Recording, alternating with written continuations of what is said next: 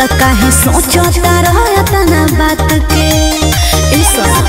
सुन खाना खा